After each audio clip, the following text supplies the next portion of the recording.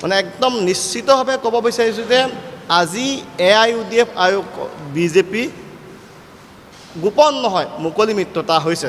এতিয়া মে- মূল কথা ক'ব গৈছোঁ বৰ্তমান আজমল চাহাবে যোৱাকালি যিখন হেলিকপ্টাৰ দি গুৱাহাটীৰ পৰা ৰূপহীলৈকে আহিছে সেই হেলিকপ্টাৰখনৰ নাম্বাৰ হৈছে V T I Q B V T I Q B এই এই হেলিকপ্টাৰখন যোৱা যোৱা চৈধ্য যোৱা এই হেলিকপ্টাৰখন তেওঁ যোৱাকালি যিখন হেলিকপ্টাৰ আছে সেই সেইকেইখন হেলিকপ্টাৰ যোৱা তেৰ তাৰিখে তেৰ তাৰিখে তুলিয়াম ৰাংহাং ডাঙৰীয়াই তুলিয়াম ৰাংহাং ডাঙৰীয়াই সেই একেখন হেলিকপ্টাৰ তেওঁ কাৰ্বি আংলঙত তেওঁ নিৰ্বাচনী প্ৰচাৰ চলাইছিলে।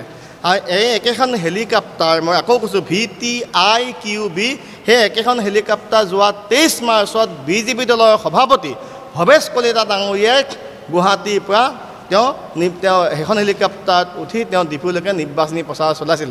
কেৱল সেয়াই নহয় তেইছ তাৰিখৰ পৰা ধাৰাবাহিকভাৱে এই সেইখন হেলিকপ্টাৰত বিজেপি দলৰ নেতা তেওঁলোকৰ যিখন এলায়েন্স পাৰ্টনাৰ সকলোৱে এইখন হেলিকপ্টাৰত দি তেওঁলোকে নিৰ্বাচনী প্ৰচাৰ চলোৱাৰ পিছত অতি গুৰুত্বপূৰ্ণ অসমৰ বাবে আটাইতকৈ দুৰ্ভাগ্যৰ বিষয় যে আজমল চাহাবে যোৱাকালি সেই একেখন হেলিকপ্টাৰ দি নিৰ্বাচনী প্ৰচাৰ চলাইছে ৰূপহীত।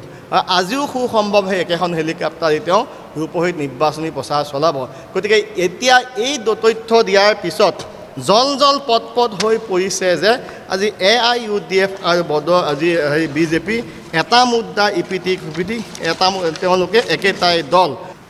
এইখন চাওক যোৱা চৈধ্য তাৰিখৰ চৈধ্য তাৰিখে তুলিয়াম ৰাংহাং ডাঙৰীয়াই এই হেলিকপ্টাৰখন ব্যৱহাৰ কৰিছিলে। ইয়াত চাওক ভি টি আই কি বি হয়নে? চাওক চাই লওক আপোনালোকে। মই দেখাইছোঁ এই একে এইখন হেলিকপ্টাৰ তুলিয়াম ৰাংহাং ডাঙৰীয়াই নিৰ্বাচনী প্ৰচাৰ চলাইছিলে বিজেপিৰ হৈ। আৰু এয়া এখন ফটো এইখন চাওক ভি টি আই কি বিউ এইটো তুলিয়াম ৰাংহাঙৰ পেজত তেওঁ আপলোড কৰিছে। আৰু সেই একেখন হেলিকপ্টাৰ চাওক V T I Q B সেইখন যোৱাকালি আজমল চাহাবে খানাপাৰাৰ পৰা ৰূপহীলৈকে প্ৰচাৰ চলাইছে। আৰু সুসম্ভৱ আজিও সেই একেখন হেলিকপ্টাৰ দি তেওঁ নিৰ্বাচনী প্ৰচাৰ চলাইছে। আমি তথ্য সহকাৰে কৈছোঁ ডাটা দি কৈছোঁ যে ইয়াত সন্দেহ নাই ডাউট নাই যিসকল যি পেচেঞ্জাৰ লিষ্ট সেইবিলাকো আমাৰ লগত আছে মই এইবিলাক দেখাব বিচৰা নাই। তাতো সম্পূৰ্ণ লিখা আছে যে তুলিয়াম ৰাংহাং যোৱা তেৰ তাৰিখে ক'ৰ পৰা ডিফুৰ পৰা ভকক চুঙলৈকে গৈছিলে। আজমল চাহাবে যোৱাকালি ৰূপহী গুৱাহাটীৰ পৰা পমাই ভিটিলৈকে যোৱা বুলি ইয়াত উল্লেখ কৰা হৈছে। গতিকে ইয়াৰ পিছত আৰু কোনো ইয়াৰ পিছত জল জল পট পট হৈছে যে ইউ আজি মুখ্যমন্ত্ৰী হিমন্ত বিশ্ব শৰ্মা ডাঙৰীয়াই ঠিক কৰি দিয়া বিজেপি হেলিকপ্টাৰত আজি আজমল চাহাবে আমাৰ নগাঁৱত আমিৰুল ইছলাম ডাঙৰীয়া হৈ নিৰ্বাচনী প্ৰচাৰ চলোৱাৰ পিছত আৰু আপোনালোকেও জানিব ৰাইজেও জানিব বাকী নাই। এই নিৰ্বাচনত আমাৰ নগাঁও সাংসদ প্ৰাৰ্থী প্ৰদ্যুৎ বৰদলৈ ডাঙৰীয়াই বাৰেপতি কৈ আহিছিলে যে বিশেষকৈ বিজেপি দলে নগাঁও লোকসভাত দুজন প্ৰাৰ্থী দিছে। এজন হৈছে সুৰেশ বৰা আনজন হৈছে ইউ ডি এফৰ আমিনুল ইছলাম। গতিকে এতিয়া এই ইয়াৰ যোগ্য প্ৰত্যুত্তৰ অসমৰ ৰাইজৰ লগতে নগাঁও লোকসভা যিসকল সংখ্যালঘু মুছলমান ৰাইজে ইয়াৰ যোগ্য প্ৰত্যুত্তৰ দিব। সংখ্যালঘু ৰাইজৰ ঘূৰ শত্ৰু বিজেপিৰ লগত মিলি বিজেপিয়ে ঠিক কৰে আজি হেলিকপ্টাৰ। সেই হেলিকপ্টাৰত প্ৰচাৰ চলোৱাৰ পিছত আজমল চাহাবৰ সংখ্যালঘু অঞ্চলত তেওঁ প্ৰৱেশ কৰাৰ নৈতিক অধিকাৰ নাই। যিখন বিজেপি দল বা মুখ্যমন্ত্ৰীয়ে বাৰে প্ৰতি কয় যে সংখ্যালঘুৰ ভোট নালাগে ন্যায় ভোট নালাগে তেওঁ কিন্তু তাৰপিছত আজমলৰ লগত মিতিৰালি কৰি তেওঁ নগাঁৱত বা আন মান ৰাজ্য আন আন সমষ্টিত সংখ্যালঘু মুছলমানৰ ভোট বিভাজন কৰি তেওঁ যি বিজেপি প্ৰাৰ্থীক জয় কৰাৰ চে অপচেষ্টা কৰিছে এই অপচেষ্টা বিশেষকৈ নগাঁওবাসী ৰাইজে কেতিয়াও সফল হ'বলৈ নিদিয়ে।